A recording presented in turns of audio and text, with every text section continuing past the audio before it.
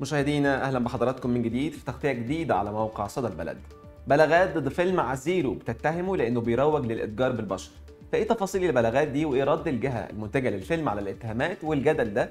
التفاصيل كاملة من خلال هذه التغطية. فيلم عزيرو للفنان محمد رمضان تم عرضه بالفعل يوم 2 أغسطس الماضي في جميع دور العرض السينمائية وده قبل عرضه في دول الخليج يوم 10 أغسطس. بيعتبر الفيلم أحدث الأعمال السينمائية للفنان محمد رمضان مع الفنانة نيلي كريم. ولكن الحقيقة أن الفيلم أثار الجدل بشكل كبير بسبب قصته وهو اللي دفع البعض بتقديم بلاغات ضده واتهامه بالترويج للجريمة وتقديم ما يتعارض مع القيم الدينية بشكل يخلي المشاهد يتعاطف مع البطل المجرم.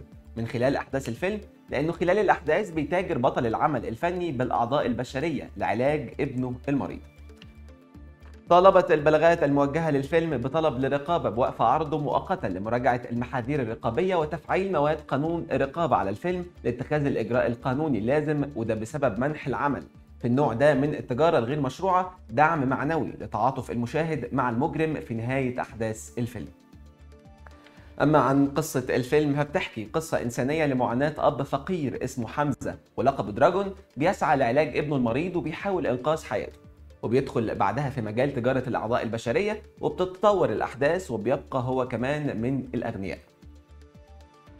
فيلم عزيرو من بطولة نخبة من نجوم الدراما والسينما من بينهم نيلي كريم وجمانة مراد وخالد الصاوي وشريف الدسوقي والفيلم من تأليف مدحت العدل وإخراج مندو العدل ومن إخراج أيضا محمد جمال العدل وتأليف مدحت العدل وإنتاج جمال العدل واستديوهات فوكس ومن المقرر طرح العمل في الإمارات العربية المتحدة والمملكة العربية السعودية وسلطنة عمان والبحرين والمناطق الأخرى يوم 10 من أغسطس.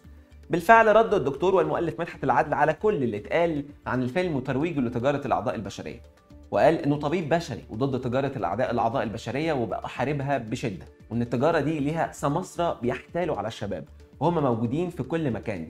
هم مافيا لبيع الأعضاء. الأمر مش مقتصر ابدا على مصر فقط بل في كل دول العالم. قال كمان إننا مش هندفن رؤوسنا في رمال وهنواجه هذه الجرائم وهنتصدى ليها بشكل كبير في سبيل العلاج والرقابة على المصنفات الفنية. رقابة محترمة بتقدر قيمة الفيلم وما يدعو إليه من قيم إنسانية ومحاولة للتصدي لهذه التجارة المحرمة والمجرمة في العالم كله. أما عن عقوبات الترويج للإتجار بالبشر فكان وضع بالفعل القانون المصري ضوابط صارمة في حالة ارتكاب أي شخص لجريمة الإتجار بالبشر وينص القانون على أنه يعاقب كل من ارتكب جريمة الإتجار بالبشر بالسجن المشدد وبغرامة لا تقل عن 50 ألف جنيه ولا تتجاوز 200 ألف جنيه أو بغرامة مساوية لقيمة ما عاد عليه من نفع أيهما أكبر. وينص القانون بالسجن المؤبد والغرامة التي لا تقل عن 100 ألف جنيه ولا تجاوز 500 ألف جنيه في أي من الحالات الآتية. إذا كان الجاني قد أسس أو نظم أو أدار جماعة إجرامية منظمة لإغراض الأتجار بالبشر أو تولى قيادة فيها أو كان أحد أعضائها أو منضما إليها. اثنين إذا كانت الجريمة ذات طابع عبر وطني وإذا ارتكب الفعل بطرق التهديد بالقتل أو بالأذى الجسيم أو التعذيب البدني أو النفسي أو ارتكب الفعل شخص يحمل السلاح.